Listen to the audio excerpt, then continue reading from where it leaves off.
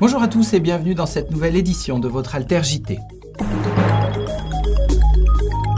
Lutte contre les grands projets inutiles et imposés. Des milliers de personnes au rassemblement annuel des opposants au projet d'aéroport de Notre-Dame-des-Landes. L'Europe de la finance sacrifie le peuple grec. On verra quelles leçons il faut tirer de la défaite d'Alexis Tsipras. Fermeture des services publics, baisse des dotations aux communes, une conséquence peu visible, la disparition progressive des petites communes. Pérou, là-bas aussi on se heurte aux projets inutiles, imposés et catastrophiques. Mobilisation populaire contre la mine de cuivre de Tia Maria. Des milliers de personnes se sont retrouvées comme chaque année sur la zone à défendre de Notre-Dame-des-Landes, près de Nantes, pour dire une fois de plus leur détermination à empêcher la destruction des terres agricoles expropriées pour construire le nouvel aéroport voulu par le gouvernement et le maire de Nantes, Jean-Marc Ayrault. Il s'agissait surtout de rappeler que le combat contre ce projet inutile, imposé et profondément néfaste pour le climat n'était pas encore enterré. Quelques jours plus tôt, en effet, le préfet de la région Loire-Atlantique, Henri-Michel Commet, avait d'ailleurs réaffirmé l'intention du gouvernement d'attendre, certes, l'issue des recours devant le tribunal administratif, attendu prochainement, mais pas l'épuisement des procédures d'appel. Alors on est sur le territoire de l'éventuel futur aéroport de Notre-Dame-des-Landes pour dire notre opposition à ce projet inutile et imposé par les pouvoirs publics à l'heure d'aujourd'hui. C'est dans une ambiance festive que se sont rassemblés ce 11 et 12 juillet des milliers d'opposants à l'aéroport de Notre-Dame-des-Landes. Ce 15e rassemblement estival, sans réelle tête d'affiche, a attiré environ 20 000 personnes sur les deux jours. Au programme, des projections de documentaires, des concerts, mais aussi de nombreux forums installés sous de grands barnums pour parler de gaz de schiste, transition énergétique, TAFTA et de grands projets inutiles ceux de Sivens, du Grand Paris, mais aussi du Center Park en Isère, de la ligne à grande vitesse entre Lyon et Turin, ou encore du site d'enfouissement des déchets nucléaires à Bure. Ce rassemblement se voulait avant tout informatif. C'est un événement qui a pris de l'ampleur euh, depuis notamment l'opération César, hein, fin 2012. Et on a réussi à fédérer un certain nombre de bénévoles au travers des comités de soutien, au travers des communes autour, pour faire un bel événement, hein, à la fois euh, festif, euh, politique et quelque chose d'assez complet, si on veut, pour permettre à tous de revenir faire le point un petit peu sur l'actualité de la lutte, parce qu'il y a toujours une actualité de la lutte. Il est important de savoir comment nous on ressent l'actualité de la lutte. Est-ce que euh, après un recours euh, perdu, est-ce qu'on a le moral à zéro ou pas? Et c'est justement ça qui est important. Ils viennent ici pour voir que la détermination est toujours intacte et que c'est pas un, recours perdu qui nous fait euh, rentrer sous terre. Au contraire. En ce qui concerne la construction de l'aéroport, ce vendredi 17 juillet, le tribunal administratif de Nantes rendra son jugement sur les recours déposés par les opposants. Aujourd'hui, sur le terrain, il n'y a aucun travaux. tout est resté aujourd'hui à l'arrêt et c'est dans l'attente euh, des recours juridiques euh, environnementaux, notamment loi sur l'eau et espèces protégées. Donc nous avons eu une audience de jugement le 18 juin et le délibéré a été mis au 17 euh, juillet. Donc vendredi prochain, nous aurons le résultat du juge de première instance. Après une bataille titanesque dont vous avez pu suivre avec nous les étapes, le gouvernement d'Alexis Tsipras a dû céder au chantage de la Troïka. Il avait pourtant reçu un soutien massif du peuple grec avec la victoire du non au référendum, puis du Parlement grec lorsque celui-ci avait approuvé le plan de réforme proposé par Syriza à la Troïka. Mais faute de disposer de réserves financières, et notamment de réserves de devises suffisantes, la Grèce était très vulnérable à toute stratégie d'étranglement initiée par la Banque centrale européenne. Celle-ci fut ainsi en mesure de conduire le système bancaire grec au bord de la faillite, au point de paralyser toute son économie, une stratégie décidée par l'ensemble des dirigeants européens, y compris François Hollande, pour qui une victoire de Syriza n'aurait eu que des inconvénients, en montrant qu'une politique antilibérale et véritablement de gauche était possible. Un message et un risque de contagion qu'il fallait absolument étouffer. Faute d'avoir eu les moyens et le temps de préparer sérieusement la possibilité d'une sortie de l'euro, voire de l'Europe, le gouvernement Syriza a dû céder aux injonctions des institutions financières. Il a dû accepter la suppression du minimum retraite dans un délai de 4 ans, alors que 45% des retraités sont déjà sous le seuil de pauvreté, vivant avec moins de 655 euros par mois. Il a dû également accepter l'allongement de l'âge de départ à la retraite, la poursuite des privatisations, l'augmentation de la TVA qui va affecter surtout les petits revenus, de nouveaux emprunts qui ne serviront qu'à payer la dette tout en l'augmentant encore, la limitation du pouvoir législatif du Parlement grec au profit des créanciers européens, le transfert des actifs grecs dans un fonds indépendant. Et finalement de nouvelles limitations aux salaires et aux investissements publics. Bref, des mesures toujours plus dures qui n'ont aucune chance d'améliorer la situation de l'économie grecque, la plongeant toujours plus dans la spirale de la récession et de l'abandon de souveraineté. Les créanciers et les firmes multinationales européennes vont donc continuer de tirer profit de l'effondrement du pays tout entier. Le FMI, par exemple, a réalisé 2,5 milliards d'euros de profit depuis 2010, simplement grâce aux prêts à 3,6% consentis à la Grèce. Alors, quelles leçons tirer de cette défaite? D'abord, l'Union européenne avait été créée comme un espace de solidarité pour permettre le maintien d'une paix durable en Europe par le biais de relations commerciales équilibrées et d'un système d'entraide puissant. Aujourd'hui, elle est devenue un espace de domination des États faibles par les États forts, eux-mêmes soumis aux impératifs des banques et des grandes institutions financières. Ensuite, l'euro n'est pas une monnaie, mais une politique économique, l'austérité, dont l'échec patent en Grèce n'empêche pas de continuer de l'imposer jusqu'à l'effondrement total. Le suffrage universel et la souveraineté populaire ne valent rien, puisqu'il est possible de piétiner les votes des Grecs aux élections législatives du 25 janvier dernier, comme au référendum du 5 juillet. On peut ainsi parler, avec le prix Nobel d'économie Paul Krugman, d'un coup d'État déguisé de l'Eurogroupe contre la Grèce, un coup d'État de la finance contre les peuples. Quatrième grande leçon, on ne peut pas transformer l'Union européenne de l'intérieur, ou en tout cas pas tout seul. Il faut donc se préparer à quitter l'Union si l'on ne veut pas en subir les politiques austéritaires. Si l'on n'est pas préparé à sortir de l'Europe, on s'expose, comme la Grèce, à un chantage à l'asphyxie financière qui oblige à céder. L'avenir est sombre la majorité Syriza est menacée d'éclatement, ce qui pourrait soit ramener les politiciens corrompus responsables de l'effondrement de la Grèce, soit voir, pire, les néo-nazis d'Obdoré parvenir au pouvoir. Le seul espoir réside désormais dans la capacité qu'aura Syriza de tenir jusqu'à la victoire éventuelle d'autres forces réellement de gauche, comme Podemos en Espagne. Le plan Valls, annoncé l'an dernier, a gelé 11 milliards d'euros, en principe dévolus aux communes et notamment aux plus pauvres d'entre elles. Nous avons déjà évoqué dans l'altergité les mobilisations urbaines du collectif Les Plumés de l'austérité, qui ont alerté sur les conséquences de ces économies réalisées sur le dos des plus pauvres. Dans le monde rural, ce sont carrément des communes entières qui se trouvent menacées de disparition pure et simple, la fermeture des services publics provoquant le départ des habitants. La Tergité est allée à la rencontre de deux maires de villages dans l'Allier. Situé dans l'Allier, dans la région de l'Auvergne et dans la montagne bourbonnaise, deux maires, M.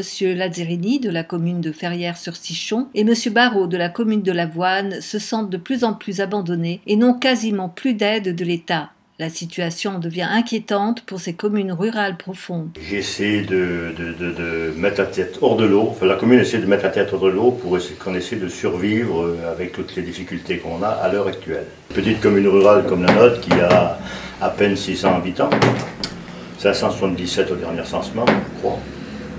Euh, on a plus, de moins en moins de moyens financiers, on a de plus en plus de difficultés pour... Euh, faire les travaux qui, de maintenance qui, devraient exister dans la commune, mais qui n'existent pas obligatoirement, puisque l'église, la mairie, l'école, à entretenir, faire de la maintenance, ça coûte très cher et on a de moins en moins d'aide de, l'État, du département, de la région, on n'en parle pas, c'est inexistant, de l'Europe, très difficile à avoir, sauf sur des projets importants qu'on ne peut pas se permettre de réaliser vu les moyens financiers qu'on a. Vous savez, la politique du gouvernement, je, l'a subi. Des gouvernements qui se sont succédés, nous, petites communes rurales, on l'a subi, cette politique. Et les aides sont différentes, vont surtout aux grandes agglomérations, aux grandes villes, au milieu urbain. Le milieu rural est de plus en plus ignoré. Et à mon avis personnel, pourtant, les, les communes rurales comme les nôtres, c'est les fondations d'un pays. Les services publics sont indispensables dans les petites communes. À partir du moment où il n'y aura plus de services publics, qu'on va tout ressembler centralisé dans les villes ou des choses comme ça, on nous supprime un poste d'enseignant, on est en train d'essayer de, de faire le maximum pour maintenir ce poste, parce que finalement, bien, si on comptabilise tous les élèves qui sont inscrits à l'heure actuelle, on en a plus que l'an dernier. Mais bon, la décision est prise au niveau départemental. Va-t-elle être maintenue? C'est ce qu'on espère que non, que le poste sera rétabli à la rentrée scolaire, mais on essaie de faire le maximum pour que ce poste soit rétabli. Mais... Ben, ça devient de plus en plus euh, compliqué et j'ai l'impression qu'on est en train de déménager le territoire au lieu de l'aménager. Donc euh, on veut amener tout le monde dans les, dans les villes, dans les banlieues de villes, et même à l'intérieur des, villes, parce que les, gens sont partis pour la périphérie urbaine, donc les zones de campagne euh, deviendront inexistantes. Vous vous sentez quand même un peu abandonné, hein? Ah bah, il y a déjà quelques années qu'on se sent de plus en plus abandonné. Vous savez, entre nous soit dit, tout à l'heure on parlait des services publics qui disparaissent de plus en plus. On parlait de l'école, demain ce sera la poste, après-demain ce sera la perception au chef-lieu de canton. Je dis que les gens qui sont dans les monastères à Paris, parce que je dis monastère, parce que s'ils sortaient un peu et qu'ils aillent dans la France profonde visiter exactement comment ça se passe, les textes qu'ils écrivent ne seraient certainement pas les mêmes et seraient adaptés en fonction des milieux qui existent, des milieux urbains, des milieux ruraux et ce qu'il faut pour tout le monde. Moi je pense que dans quelques années, malheureusement si on continue comme ça, si on continue à tout recentrer, à tout recentraliser, les communes rurales euh, seront inaccessibles pour beaucoup de choses, pour beaucoup de gens. Euh, et puis malheureusement, ce sera le déclin du rural. Mais l'avenir, je pense qu'il y a encore des belles choses à voir dans les communes rurales comme les nôtres. Depuis le 19 juin, quelques milliers de personnes manifestent quotidiennement à Erevan, la capitale de l'Arménie, pour dénoncer l'augmentation des tarifs de l'électricité décidée par le président arménien Serge Sargsyan. Une décision prise sur fond de corruption massive, à l'origine d'un trou considérable dans la caisse de la compagnie privée de distribution d'électricité ENA, qui appartient au géant russe Inter Raoues. Malgré la répression et les 250 arrestations de manifestants, le mouvement électrique Yerevan tient bon.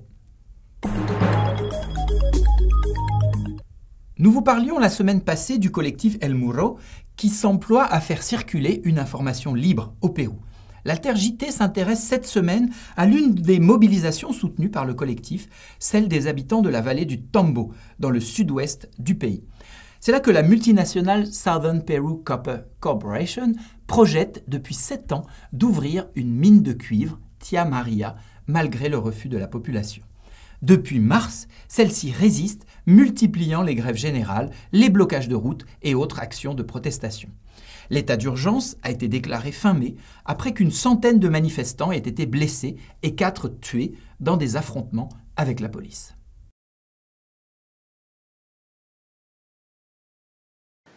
Nous sommes au Pérou, dans la région d'Arequipa, la vallée du Tambo. Depuis sept ans, l'entreprise mexicaine Southern cherche à imposer son projet minier Maria, malgré le refus local exprimé par le référendum de 2009. De mars à mai 2015, de nouveaux conflits violents ont eu lieu dans la région. L'état d'urgence régional a été déclaré depuis le 22 mai, pour 60 jours. Ce projet est soutenu par le président Ollanta, malgré ses promesses préélectorales, au nom du développement économique. Alors que l'on sait que les régions minières sont parmi les plus pauvres et les plus polluées du continent. À Cusco, le collectif El Muro se charge d'informer sur les enjeux cachés du conflit.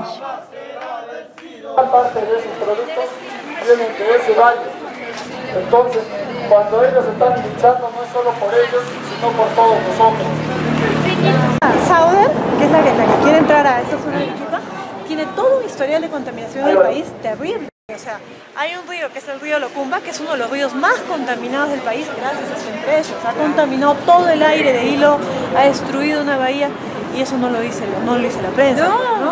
Aparte de eso, el estudio de impacto ambiental que han presentado no tiene ninguna relación con los planes de desarrollo del proyecto que están poniendo. Es como decir que ya en el estudio de impacto ambiental vamos a construir una casa de dos pisos, ¿ya? Y que en el plan de desarrollo del proyecto están proyectando construir un edificio de 20 pisos. Il la mélange avec de l'eau et il la mélange avec tous ces produits toxiques pour pouvoir extraire le minerai. Et une fois que le minerai est extrait, il les garde dans ce qu'ils appellent des relaves. C'est à moins de 2 km du fleuve principal qui alimente tout le truc. Donc en gros, c'est couru d'avance que si ce projet minier va, vu les plans, etc., et vu les, antécédents, ils vont tout contaminer. Du coup, ben, les gens, ils bloquent les routes. Euh, les policiers ont commencé à arriver de façon assez brusque, assez violente, ils commencent à vouloir faire dégager les gens. Le problème, c'est que c'est des gens qui n'ont pas d'autre canal de se faire écouter qu'en bloquant la route. Si tu n'en arrives pas aux mains, il n'y a personne qui t'écoute. Les médias nationaux, ils ont commencé à couvrir le truc. Au bout de ouais, trois semaines, un mois, on a commencé à parler du conflit à partir du moment où il y avait un mort. Et une fois qu'on en arrive à des extrêmes, forcément, on t'appelle terroriste, on tape indien, indigène. La vidéo de ce paysan a fait le tour du net. On y voit comment un policier lui met cette arme de force dans les mains pour qu'un photographe du journal El Comercio prenne un cliché. Mortes, un policier mort. Évidemment, on parle que du policier. On parle pas des quatre personnes mortes. On parle pas des centaines de personnes blessées. Ce qui más duele, yo creo, no es tanto la pobreza, sino la injusticia. El hecho de, de, no tener la autorización de decidir sobre tu propio territorio. O sea, cuando se desata las Fuerzas Armadas contra la población, eso sí duele.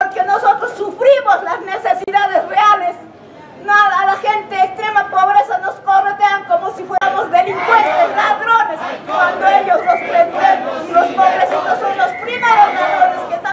Avec l'état d'urgence, on suspend la liberté de circulation, la liberté de réunion euh, et l'inviolabilité du domicile. Donc à partir du moment où ils ont su, les policiers ont su toutes ces libertés, la police a commencé à rentrer de maison en maison, à aller chercher les dirigeants qui... nosotros carecemos de educación, se aprovechan por eso. Todos los presidentes educan a sus hijos en los extranjeros, ¿acaso en el Perú? También la lucha de nuestros hermanos en Espinar, en Cajamarca, Apurima, Huancavelica, Cusco. Unido, jamás será vencido. Pueblo unido, jamás será Et voilà, cette nouvelle édition de votre Alter JT est maintenant terminée. N'oubliez pas de nous soutenir parce que l'information libre et indépendante a un coût. C'est sur Tipeee que ça se passe. À très bientôt et d'ici là, on lâche rien.